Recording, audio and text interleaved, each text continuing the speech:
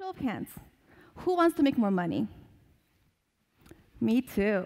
Thank you. What do you think your financial advisor would say if you ask them this question and how?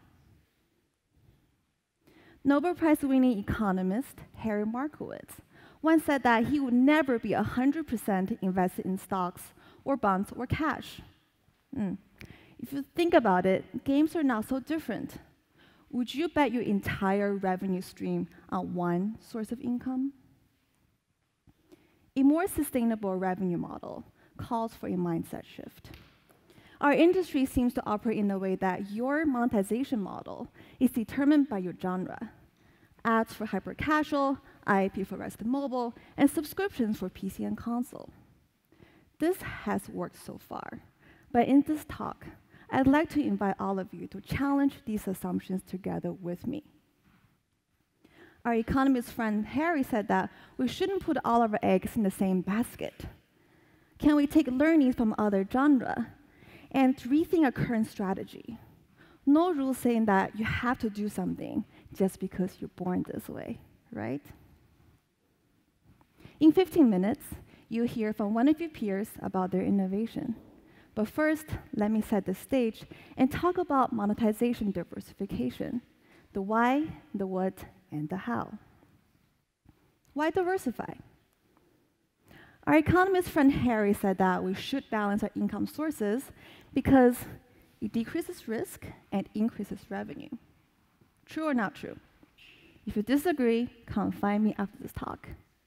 What you might not know is that we also have big data to back up this claim. We plotted the top grossing games on this graph to your right. Each dot is a game. On the x-axis is a percentage of the game's revenue driven by its top 5% of buyers. On the y-axis is the game's churn buyers reactivation rate. This means that the more to the right, the more concentrated is your game's revenue.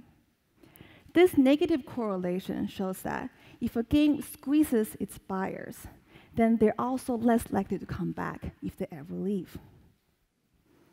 Therefore, we call this philosophy $1 out of everyone is more sustainable than $100 out of one player.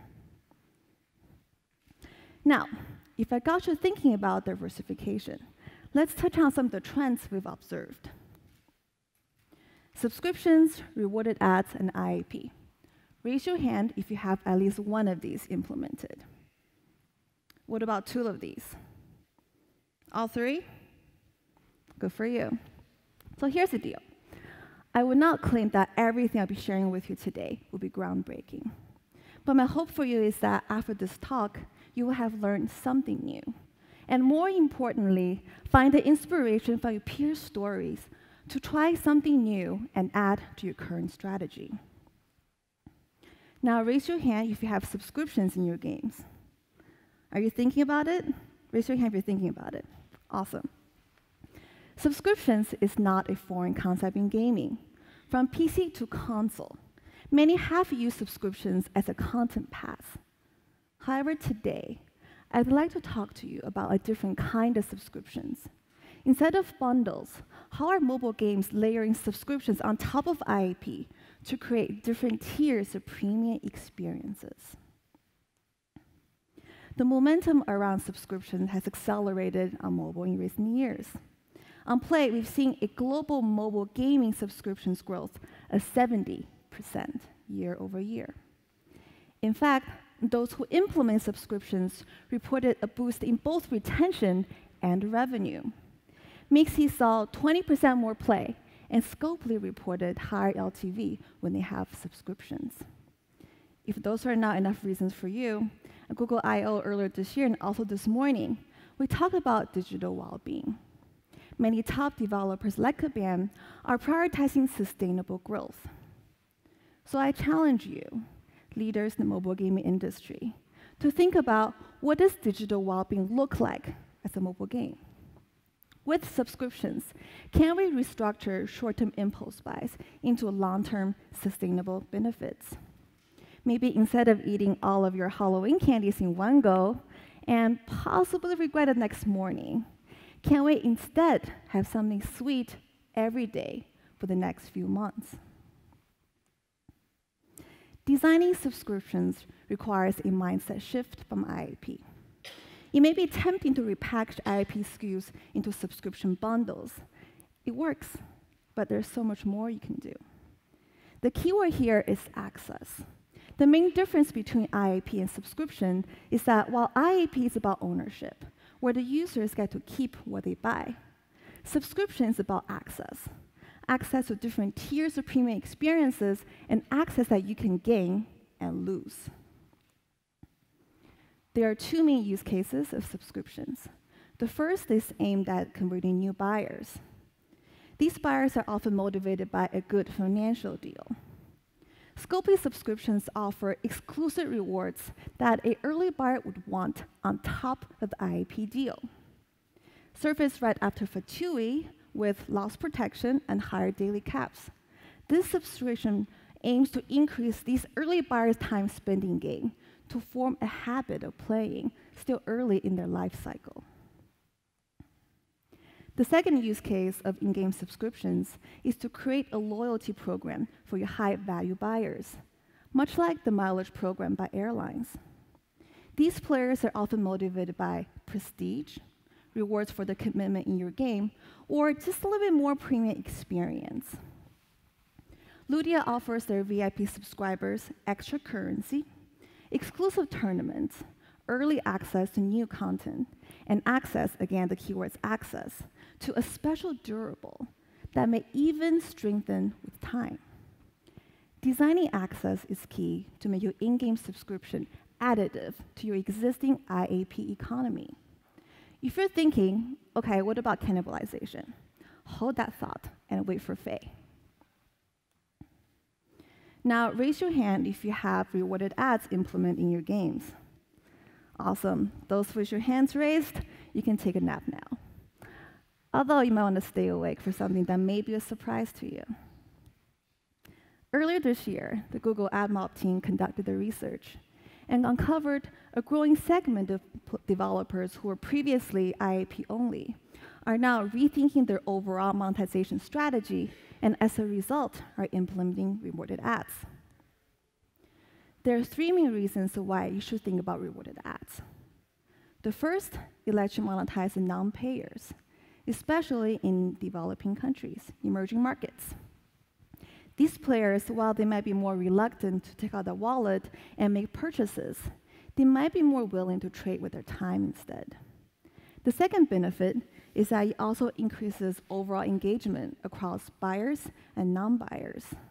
Many game developers use rewarded ads as a way to extend gameplay or gift a minimal amount of IAP. This increased time spent for everyone, which in turn increases social liquidity, which then enhances the experience of everybody playing.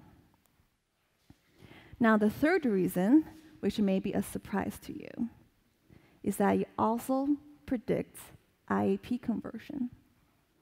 Kongregate found that across six of their games, players who watched an ad in their very first session are 2.5 to 5 times more likely to make subsequent purchases. Of course, we can't say that watching an ad will cause you to spend, but there is a clear correlation between the group of people who watch ads and the group of people who are likely to make in-app purchases. Now, AdMob also shared with us a framework to help you optimize your rewarded ads design. Let's see what Kongregate has to say for each of these. For placement, rewarded ads should be core to your gameplay as part of your in-game economy. The reward itself should be useful, meaningful, while not competing directly with IAP. For targeting, everybody should have access to rewarded ads, but the user should initiate the experience as to ensure to not interrupt their gameplay. For cadence, more isn't necessarily better. Kongregate found that six to eight ads views per viewer per day maximizes return, with the option to watch at least one per session. For measurement, remember to segment your core health metrics by ad viewership and frequency, And if you notice a certain cohort of users are spending less time or money, test and iterate. Use this framework. Now, if you're itching to test out rewarded ads quickly, this morning we announced rewarded products that's coming soon. Directly in your console, this uses the same API calls as IAP. If you're interested, talk to Play BD Manager. Lastly, IAP. I will not ask for hands, as I assume most of you have IAP implemented. But for now, place that and hear why game developers who found success previously with ads are now also pushing for IAP. Similar to the trend with rewarded ads, while IAP itself isn't new, what is new is the growing number of developers who were previously ads only are now adding IAP to their existing titles or developing new IAP-based titles to increase their portfolio diversity. For example, Tapps Games, a Brazilian developer, is known for their hyper-casual games, but decided to focus on IAP in their Bit Wars titles. After growing their IAP revenue by 200% and more, IAP is now an integral part of the strategy. Let's remind ourselves the advantages of IAP. First, it can be run and developed by a simple team, by nimble team with simple infrastructure. We've seen teams as small as 10 people managing multi-million dollar titles. Second, instead of relying on a huge user base or massive installs, IAP pushes us to think about long-term sustainable business metrics. And last, IAP gives you control and flexibility over your game and your revenue. Now, for those of you thinking about IAP, let's quickly touch on the design framework. Yodo1 is the pub Chinese publisher of Rodeo Stampede. They managed to shift their ads to IAP ratio from 30% IAP to 60% IAP. Let's see what they recommend. For design, keep it simple and flexible. While try to monetize as many users as possible by giving the user their choice of currency, such as IAP or ads. For conversion, Understand what uniquely motivates each segment of your users will help you create targeted offers. And for retention, content is king. And build a customizable live ops system early, which will save you time later on. Now, without further ado, I'd like to introduce Fay, who leads operations from N3TWORK, to talk to you more about in-game subscriptions. Okay. Thank you, Moonlit. Hi, everyone. I'm Fay Griffin. I'm VP of Operations at N3TWORK. Who are we? We are 90 people headquartered in San Francisco with offices in LA and Santiago, Chile. We believe there are five features that make up a great game. Gacha. we sell gacha card packs every week. And for those of you who don't know aren't familiar with gacha card packs, think Pokemon or baseball cards. We introduce rarity in our game. We have weekly events we run. We have social component in our game, guilds. And we also have store. Our first game out in the market that combines all of these features is Legendary Game of Heroes.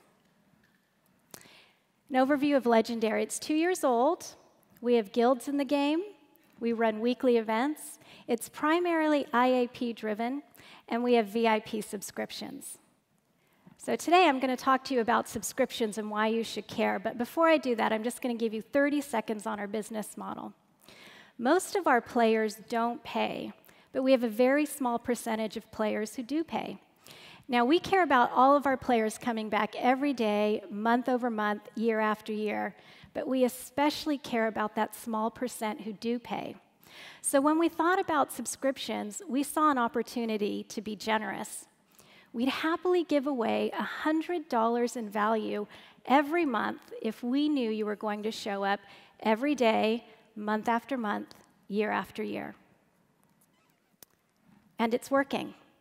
Since we introduced subscriptions last April, our subscription base has grown month over month. So we're doing something right. Few top lines about our subscriptions. In Legendary, we brand our subscriptions as VIP, and during this talk, I'm going to use those terms interchangeably subscriptions and VIP. It's $29.99 a month. Our VIP are a small but growing portion of our revenue. We have 30,000 active subscribers. We have a day 425 retention of 20% with our VIP actives. We have a 90%, 95% login rate of VIPs. And so far, cannibalization is not a factor. And our cost per player is coverable by our VIPs. Some key considerations we thought about when uh, introducing VIP subscriptions. We thought of subscriptions as a loyalty program that provide premium access. Another thing to think about is monthly versus yearly access. Right now, we just have monthly, and I'm going to tell you a little story about why. So, one of the unique things about our culture at N3TWORK is that we believe great ideas can come from anywhere. And our subscriptions actually came from our, one of our client engineers on Legendary, Shu. He came to us and said, Hey, Google's now offering the ability to do subscriptions. I think we should put that in our game. It should be like the Amazon Prime of subscriptions for Legendary. So we got a great feature from our client engineer, but the downside was we didn't have a 20 person design team thinking about it. So we didn't think of all the ins and outs of subscriptions when we first implemented it. So we got a really great system, but some constraints in that it's not as extensible as we would like it to be, but we're fixing that now. Another thing to think about is how much you can discount IAP for the promise of future revenue. The bet we made was that subscriptions would be highly retentive, so we bet long term future revenue would benefit us. The other thing to think about is that subscriptions must provide convenience to the player. You should make it a no brainer. A subscription player, after having experience playing the game with subscriptions, cannot imagine playing the game ever again without a subscription. The other thing you need to consider is rewarding and celebrating your loyal subscribers. Celebrate, celebrate, celebrate. Through VIP events, VIP offers, our VIPs can actually reach us any time of the day to give us feedback. Subscriber players must feel like they belong to a community that's appreciated by the game devs and tie subscriptions to loyalty programs whenever possible. So, some challenges. I'm going to talk about intuitive messaging and standout UX together because they kind of go hand in hand. One thing we asked ourselves was how do we communicate VIP benefits in as clear a way as possible with as few words as possible? One of the ways you can do that is by differentiating what the game looks like for non subscribers versus subscribers. One way we did this was through color. Our non subscribers, the steady state of the game is blue. For our subscribers, it's purple, color of royalty. Everywhere you get a VIP benefit, we theme it purple, as you can see from the mock up on the screen. If you turn off VIP, the game looks very different for you. It's pretty obvious. We built it into the core loop. If you play as a VIP, you can't help but see the benefits. If you turn it off, it's obvious. Everywhere you lost something is super clear. We also think of our VIPs, they're not only VIPs in the game, but also outside of the game. We actually have a Slack channel where our VIPs can communicate with us. Their customer service tickets get flagged and they're handled separately. Every interaction a subscriber player has must be a moment of delight and reinforce that they are a VIP. Another thing to think about is when to sell subscriptions. We run weekly events, so we might put a pop up in the game a day before an event starts to advertise how what you get out of a VIP subscription can help you in the events. This one I put in here from, for the devs shared account prevention we needed a way, we needed to build into a system a way to prevent multiple players who share a single Google account from exploiting and get unfair advantages. And lastly, you need to ensure that you have high caliber customer support and that your customer support team is properly equipped to benefit your subscribers. So, IAP versus subscriptions. Many people think of subscriptions are just auto renewal of IAP, but we think of them very differently. To echo what Moonlit said earlier, subscriptions are access. They're highly retentive, long term access to content.